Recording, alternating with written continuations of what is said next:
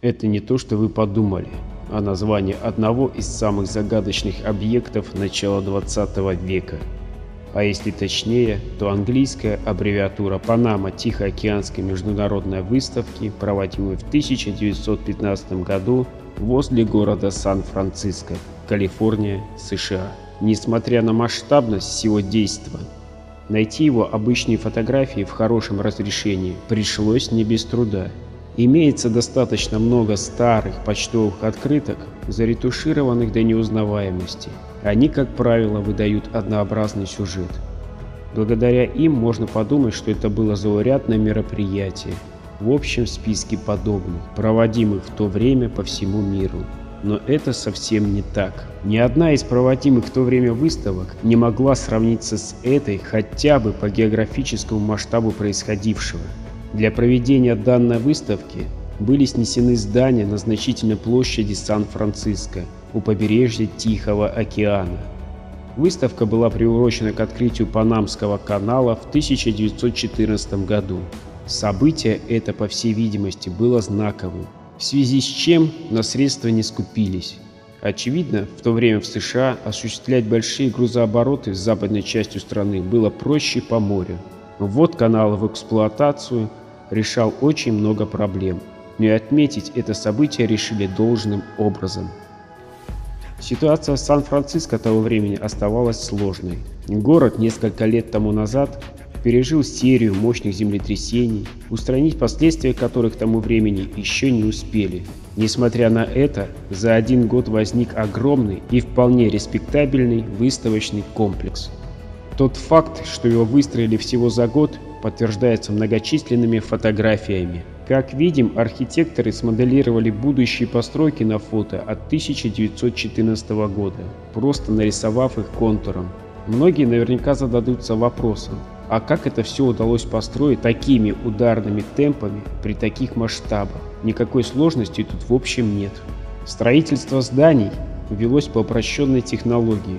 Металлический каркас обшивали обычным деревом, а на него крепили материал под названием штоф. Именно он и придавал зданиям благородный классический вид. Как правило, в виде ткани использовали мешковину, а в виде наполнителя минеральные порошки на клеевой основе. Формами можно было придать штофу любой вид, от листов до скульптур. Крепить его можно было чем угодно, от клея до гвоздей. Технология простая, быстрая и дешевая. Это будущий павильон штата Орегон. А это он сам. Ничего не напоминает? Это те самые храмы, которые в большом числе были на Черноморском побережье, от Крыма до Крита. Эту типовую конструкцию историки приписывают древним грекам, но видно это не совсем так. Если Орион был русским штатом, скорее всего такие здания были и там. Можно показать еще несколько фото из серии «Как было, как стало».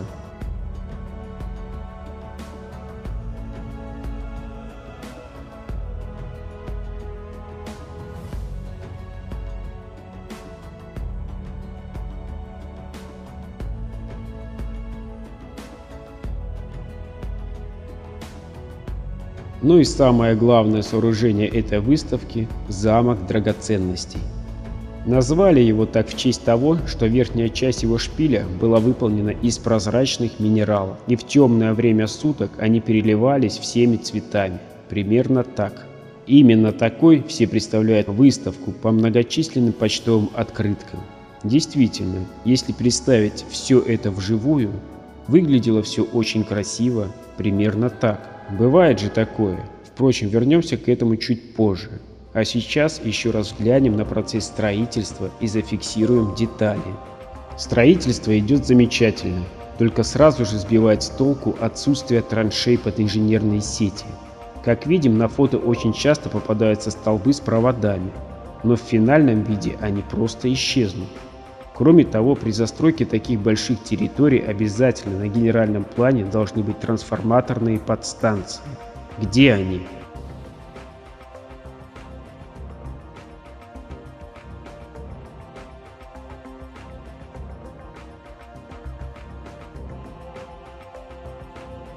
Судя по тому, какой силы было освещение небес, электрическую мощность такой объект потреблял немалую. Она, наверное, даже соизмерима с мощностью, потребляемой современным постелком городского типа. Кроме того, данная выставка во многом была уникальной по ряду причин. При проектировании выставки ее реализовали как полностью автономное образование. Впервые в США на ней использовали телефонную линию Сан-Франциско-Нью-Йорк.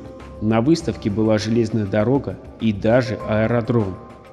Кроме этого, была масса аттракционов. Среди них даже был такой удивительный для того времени, как аэроскоп. Любой желающий мог хапнуть адреналина, покатавшись на такой штуке. Но и это было еще не все. В павильонах выставки продавались такие невиданные для этого предмета роскоши, как фены для укладки волос и стиральные машины. Да и павильоны были сами по себе огромными. Чтобы снабжать все это электричеством, нужно вполне себе приличная электростанция с трубой такой высоты, что ее было бы видно с любого ракурса но ее там и близко не было. В чем же тут секрет? Наверное, в тех самых павильонах. Это действительно выставочный павильон, и он не придуман художником. Неужели каждый арендатор в павильоне обеспечивал себя электричеством сам? Очень даже может быть. Но в составе зданий и сооружений были освещение и фонтаны, и масса других нагрузок, которые к арендаторам не относились. С коллективным освещением действительно на выставке происходило много странностей. Внутреннее освещение в подавляющем большинстве выполнено вопреки всякой логике. Это просто электрические светильники, висящие на обычных цепях без всяких проводов. Их там не то что много, а до безобразия много. Каким образом это могло работать?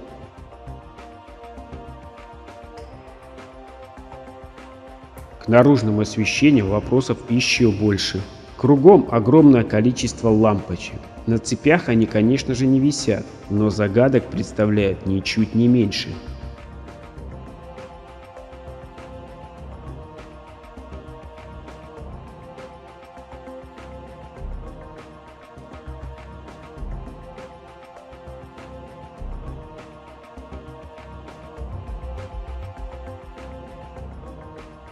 Что за странные фонари, на которых даже не видно ламп?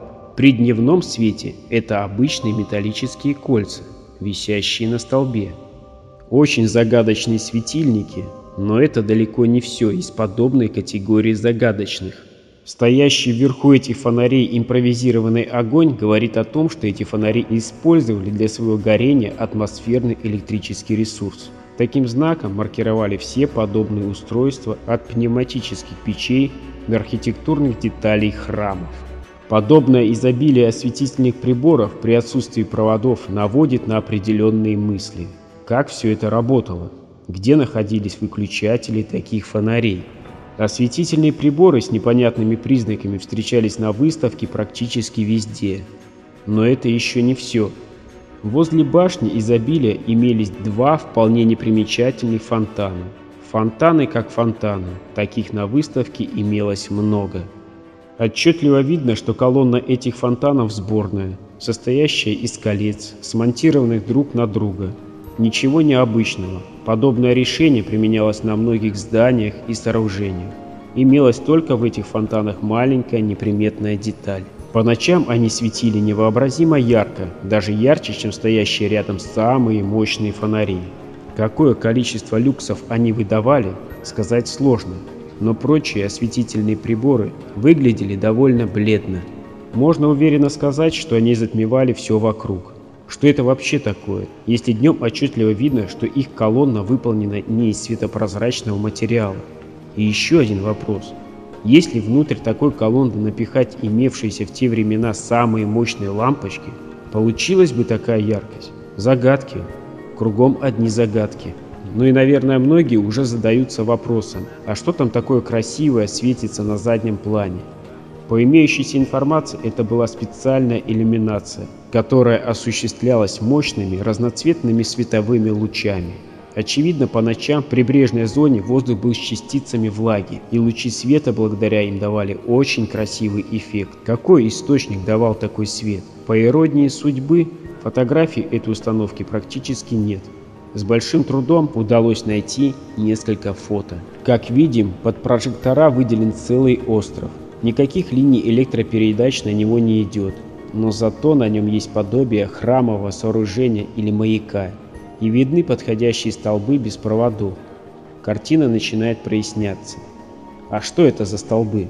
Если приглядеться, то по территории выставки их наставлено очень много, и наверху их расположены не только эти непонятные звезды, но и скульптуры. И расположены эти столбы совсем не хаотически, а вполне упорядоченно. И сопутствуют этим столбам непонятные ротонды, которых также очень много. Включение-выключение фонарей проводилось в этих ротондах. Фонари для таких конструкций были простейшими. И светили они на потолок, очевидно, чтобы не слепить глаза ярким светом. Откуда в них бралась такая фантастическая яркость? Но выделение энергии из атмосферы получалось не только работой одних ротонд. Сами павильоны были выстроены так, что они имели собственные энергетические системы и обеспечивали собственные нужды. Вот она та самая башня изобилия вблизи. Фонари на ней и возле нее горят достаточно хорошо. Очевидно, для такой потребляемой мощности масштабы электроустановки были соответствующие. Вся крыша изобилует деталями энергосистемы. Видимо, фонтан потреблял значительную мощность. И не только фонтан. А это и есть те самые устройства, дающие те самые мощные направленные лучи. Что там перекатывалось и светилось, теперь уже не узнать. Но наша башня изобилия есть не что иное, как основной элемент энергетической системы той территории, которая ограничивается периметром пристроенных к ней зданий. И скорее всего эта территория была еще с противоположной ее стороны. В этой системе было все продумано до мелочей. И никто никогда бы не подумал, что эта башня есть один из основных элементов энергосистемы выставочного комплекса как, собственно, и замок драгоценностей и прочие башни в этом комплексе. Благодаря им все это и работало.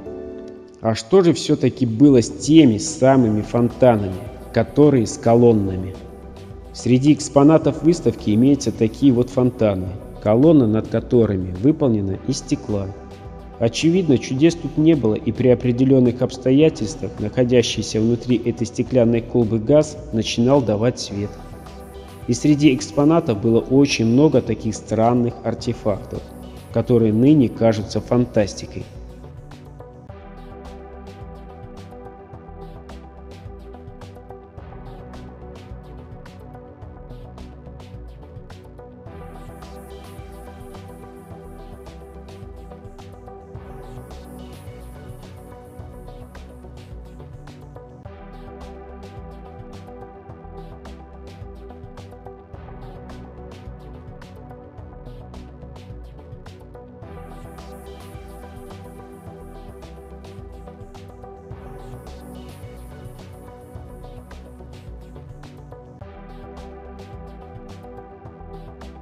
Но уже стала наступать новая эра глобализации. И наряду со всем с этим на выставке стали появляться вполне традиционные вещи.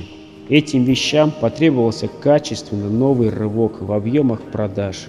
И собственно случилось то, что случилось. Простояв всего лишь один год, наша огромная выставка была снесена. В 1916 году ее уже практически не осталось.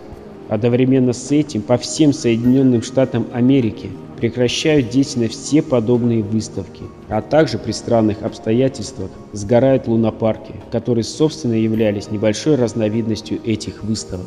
А что происходило в то время на европейском континенте, в представлении не нуждается. Очевидно, все эти события в масштабах планеты вел один единственный модератор, что никак не хочет признавать современная история. Несмотря на это, оставшуюся часть сооружений выставки снесли, чтобы реконструировать, совсем недавно.